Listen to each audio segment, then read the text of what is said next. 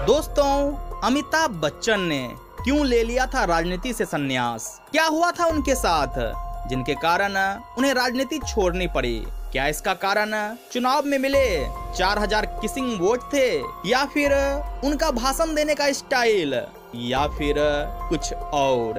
आइए, आज के इस वीडियो में इसी रहस्य से पर्दा उठाते हैं और चलते हैं 40 साल पहले की राजनीतिक दुनिया में, जब टेलीविज़न कुछ बड़े लोगों के घरों की शान हुआ करती थी। हाँ यह कहानी है साल उन्नीस सौ चौरासी की, लेकिन इस कहानी को समझने के लिए हमें थोड़ा और पीछे जाना पड़ेगा। यानी जब राजीव गांधी और अमिताभ बच्चन की दोस्ती हुई थी। वैसे वह साल था 1946 और वह दिन था 11 अक्टूबर। जब अमिताभ बच्चन राजीव गांधी से पहली बार मिले थे, तब वे सिर्फ़ चार साल के थे। वही राजीव गांधी उस समय दो साल के थे। दोनों की पहली मुलाकात उत्तर प्रदेश के इलाहाबाद, यानी आज के प्रयागराज में बिग बी के जन्मदिन की पार्टी पर हुई थी। कहते हैं, इस मुलाकात के बाद दोनों की दोस्ती गहरा गई। कहा जाता है, राजनीति में होने के नाते तेज़ी बच्चन और इंदिरा गांधी का परिवार एक दूसरे के घर आते जाते रहते थे। यहाँ तक कि गर्मियों की छुट्टी में कई बार बच्चन परिवार भी राजीव गांधी के यहाँ जाया करते थे। वैसे अमिताभ बच्चन को इंदिरा गांधी अपना तीसरा बेटा मानती थी। जो हो, चलिए अब आते हैं साल उन्नीस सौ चौरासी पर। जब अमिताभ बच्चन फ़िल्मों में आए तो बांग्लादेश, पूर्वी पाकिस्तान था। क्रिकेट में क्रांति शुरू होने वाली थी। हॉकी अभी भी भारत का सबसे लोकप्रिय खेल था। भारतीय राष्ट्रीय कांग्रेस में अभी तक विभाजन नहीं हुआ था। राजधानी एक्सप्रेस को चलते चलते अभी एक साल भी नहीं बीता था और इंसान ने अभी अभी चाँद पर कदम रखा था। साल 1977 में अगर उत्तर प्रदेश में कांग्रेस का सफाया हुआ था तो कांग्रेस ने उन्नीस सौ चौरासी में अमिताभ बच्चन को चुनाव में खड़ा कर उसका बदला लिया था। जब इंदिरा गांधी की हत्या के बाद उपजी सहानुभूति लहर ने विपक्ष के कई बड़े दिग्गजों को चुनावी अखाड़े में ज़मीन सुंघा दी थी। ग्वालियर में अटल बिहारी वाजपेयी और माधव राव सिंधिया जैसा ही एक और दिलचस्प चुनावी मुकाबला उत्तर प्रदेश के इलाहाबाद में माटी के लाल हेमवती नंदन बहुगुना और छोड़ा गंगा किनारे वाला, यानी अमिताभ बच्चन के बीच भी हुआ था। इलाहाबाद हेमवती नंदन बहुगुना का राजनीतिक घर माना जाता था। यूँ तो बहुगुना अविभाजित उत्तर प्रदेश के गढ़वाल इलाके के रहने वाले थे, लेकिन उनकी शिक्षा दीक्षा इलाहाबाद में हुई थी। बहुगुना की पत्नी कमला बहुगुना भी इलाहाबाद की थी।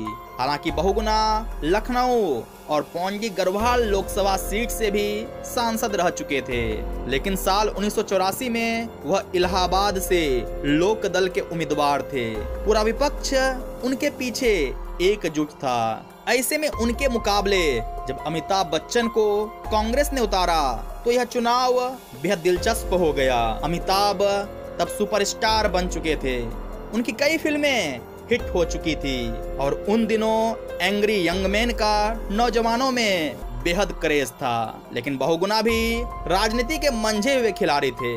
इसलिए यह कहना मुश्किल था कि कौन जीतेगा। बहुगुना को इस चुनाव में इलाहाबाद की जमीनी ताकत, पहाड़ी, कायस्थ और मुस्लिम मतदाताओं के मज़बूत ध्रुवीकरण और निजी लोकप्रियता पर पूरा भरोसा था। उत्तर प्रदेश के मुख्यमंत्री और केंद्रीय मंत्री रहते हुए उन्होंने न जाने कितने ही लोगों की मदद की थी। उन्हें चुनाव जीतने और प्रतिद्वंदी को हराने के सारे दांव पेच मालूम थे। अमिताभ बच्चन सियासत के खेल में बिल्कुल नौसिखिए थे, इसलिए बहुगुना को अपनी जीत की पूरी उम्मीद थी। उधर अमिताभ बच्चन को अपनी सितारा छवि, युवाओं में लोकप्रियता कांग्रेस के प्रति सहानुभूति लहर और सबसे ज़्यादा अपने इलाहाबादी होने की ताकत का भरोसा था। छोरा गंगा किनारे वाला की अपनी इलाहाबादी छवि बुनाने के लिए अमिताभ ने सारे फिल्मी हथकंडे अपनाने शुरू कर दिए। वह इलाहाबाद की सड़कों और गलियों में जिधर भी निकलते, रास्ते जाम हो जाया करते थे। लड़के उनके पीछे दौड़ते थे और लड़कियाँ अमिताभ बच्चन की झलक पाने के लिए छज्जों और छतों पर टूट पड़ती थी। अमिताभ बच्चन धीरे धीरे पूरे इलाहाबाद में छा गए और बहुगुना को लगने लगा कि उनकी सियासी ज़मीन खिसक रही है। सिल्वर स्क्रीन पर ढेरों हिट डायलॉग देने वाले महानायक अमिताभ बच्चन ने अपनी सियासी पारी के दौरान जनसभाओं में भी कई डायलॉग दिए। जो आज भी लोगों के जेहन में ज़िंदा है। जनसभाओं में उनके अंदाज ने लोगों, खास तौर से युवाओं को खासा प्रभावित किया। एक जनसभा के दौरान अमिताभ ने खुद पर टिप्पणी करते हुए कहा, मैं एक शून्य हूँ और इस शून्य को आपकी संख्या दस गुना करेगी। उनका यह राजनीतिक डायलॉग सियासी स्क्रीन पर न केवल काफ़ी चर्चा में रहा, बल्कि उनके चुनाव में सच भी साबित हुआ। वहीं एक सभा में अमिताभ बच्चन ने मंच पर फिल्मी स्टाइल में घुटनों के बल बैठकर हाथ जोड़ते हुए राजीव गांधी से यमुना नदी पर पुल बनवाने का आग्रह किया था। और वे बोले थे, साहब, एगो पुलवा बनवाए दा, बड़ी दिक्कत होत बा। राजीव गांधी ने यमुना पर पुल बनवाने का वादा किया था। वहीं एक सभा में अमिताभ बच्चन बोले थे, मुझे वोट दें, क्योंकि मेरा खाता साफ़ है। कोई रेड एंट्री नहीं है। उनका यह राजनीतिक डायलॉग विरोधियों को चुभ गया था। विरोधियों ने अमिताभ को नाचने गाने वाला कहकर वोट न देने की अपील की थी।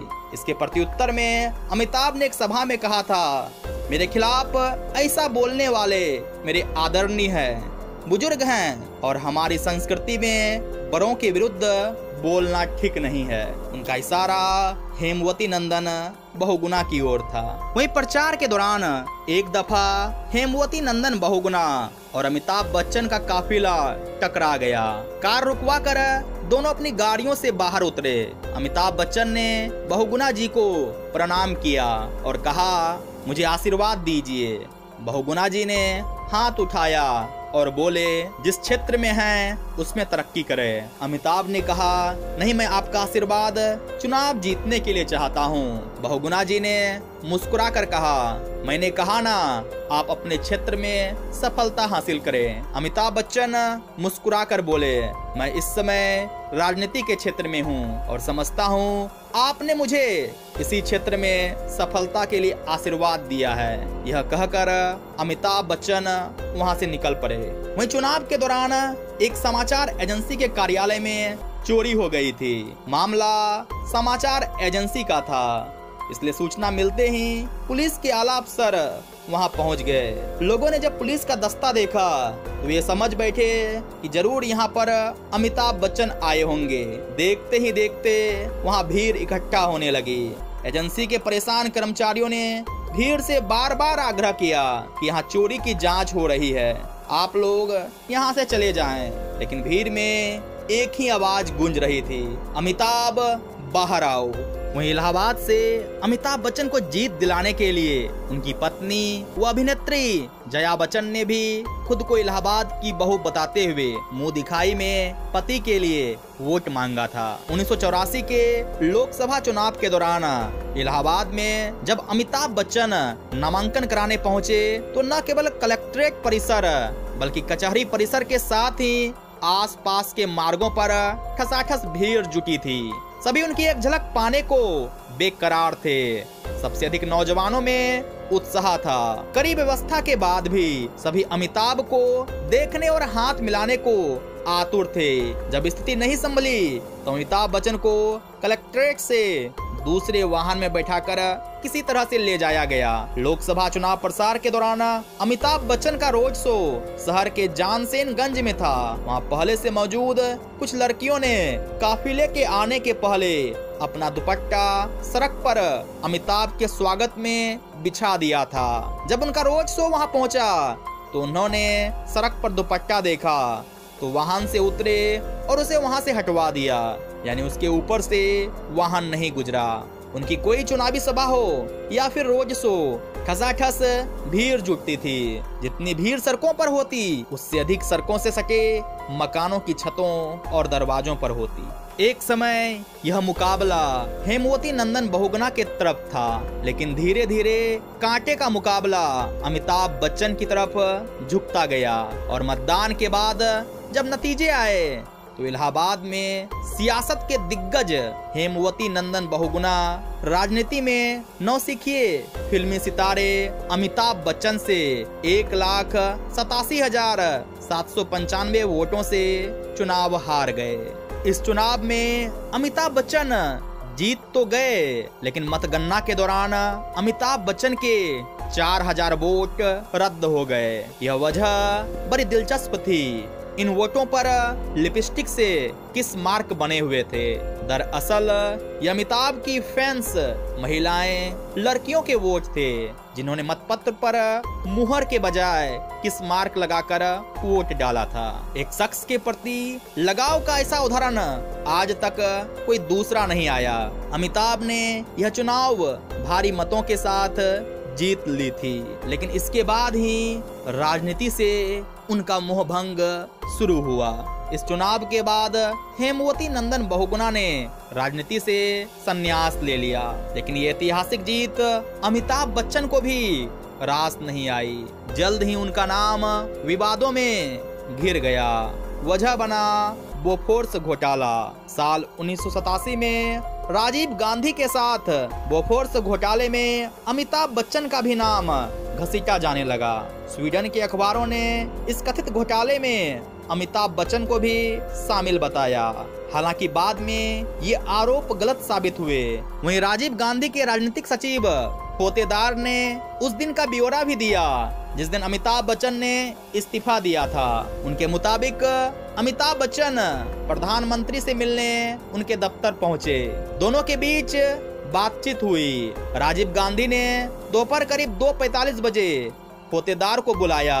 इसके बाद राजीव गांधी ने अमिताभ बच्चन से कहा कि पोतेदार चाहते हैं कि आप इस्तीफा दे दें। यह पोतेदार के लिए चौंकाने वाला था। इस पर अमिताभ बच्चन ने कहा, मैं इस्तीफा देने के लिए तैयार हूँ।